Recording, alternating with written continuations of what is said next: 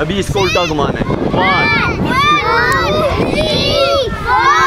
Five अभी दूसरे हाथ को। One two three four five six